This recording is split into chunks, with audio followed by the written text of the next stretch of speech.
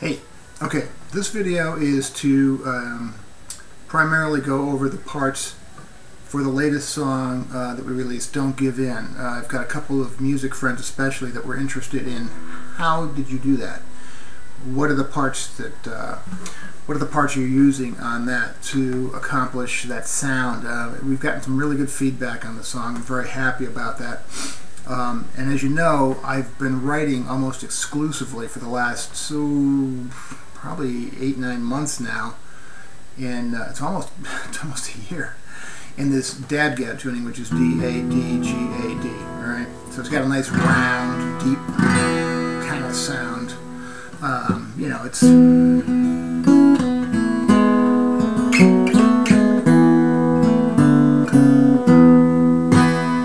it's been used countless times in a number of very popular songs. Um, there's a number of ways you can use it, obviously, and I've covered this in previous videos, but to, to review, you know, you can do a bit of a number like this. Alright?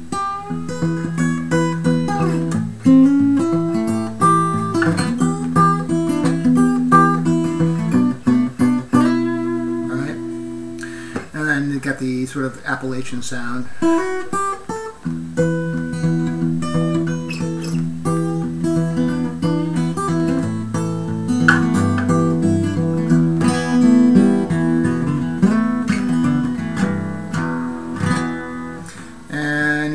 A little bit of sort of a ragtimey feel to it.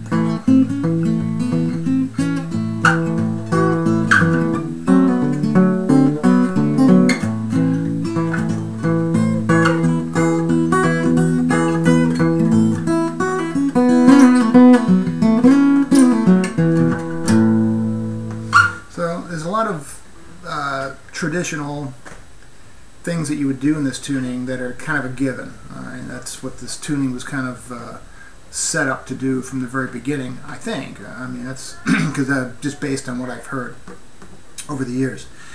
My challenge, as you remember, I'd broken this ring finger and uh, so became very limited with a splint down there and everything. So I was challenged to try to find other ways I could write during that time in this tuning and I did write some things that were uh, contem uh, contemporary versions of the traditional styles in this tuning. But I wanted to incorporate it into my usual uh, repertoire of uh, contemporary pop music, if you will, or indie pop. And so I started to play around with it, and I came up with a variety of things. I mean, I even came up with some classical sounds. This is a G minor, A minor, obviously, because I got the capo on, but on that one chord alone to a D.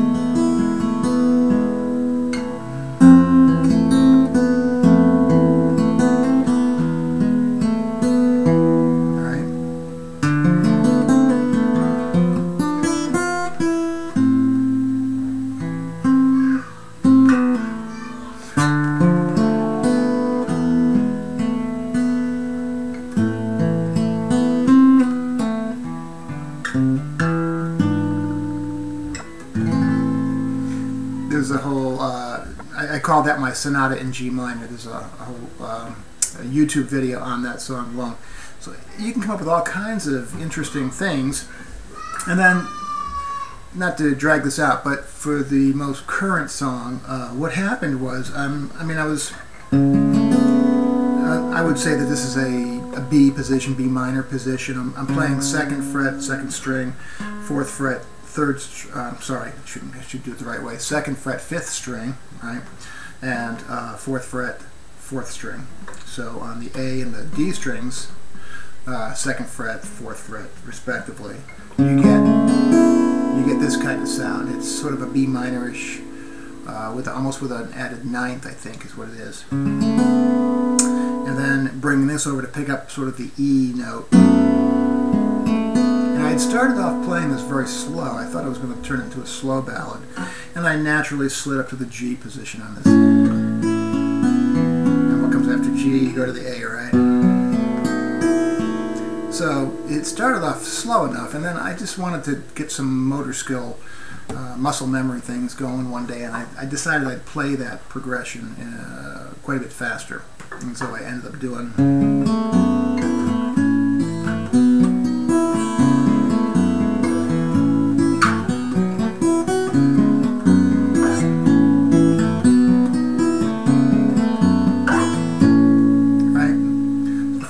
Through.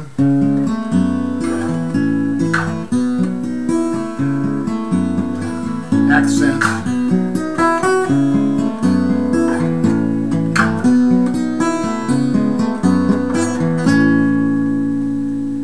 Second time I'm, I run through it, I'm going more to the G to the A.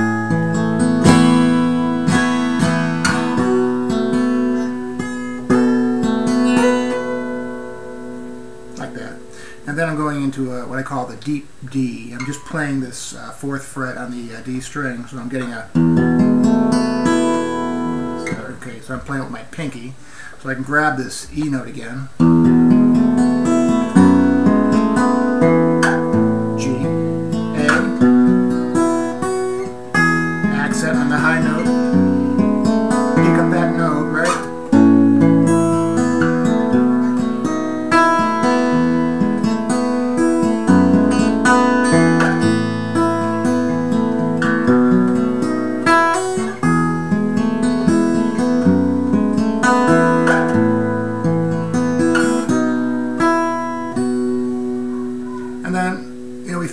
Spot with the intro. It's obviously the intro, but uh, this is, uh, I'm playing it up here on the 11th, well, it's on the 11th fret. Disregard the capo. I'm going to also, I'm going to refer to this as the 11th fret. Coming down to. Right, just like that. And then it's an E minor with this added sixth pick it up. To your G, and you basically repeat it. So it's a fairly simple, um, it is, it's a very simple progression, and it requires just a lot of practice to get that smooth.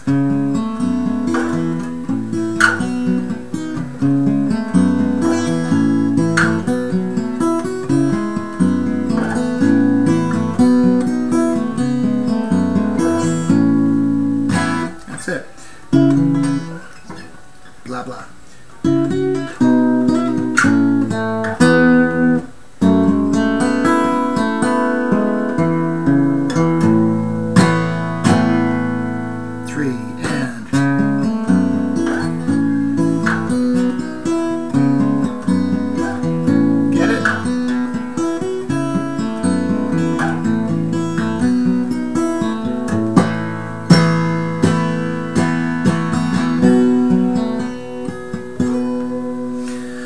And you know, there's li- little tweaks and uh, turns in there that you can kind of pitch uh, depending upon where you are and what little extra notes you want to throw in. but and if you want the tablature, I'd be glad to provide the exact tablature for the positions. But they're, they're all pretty straightforward.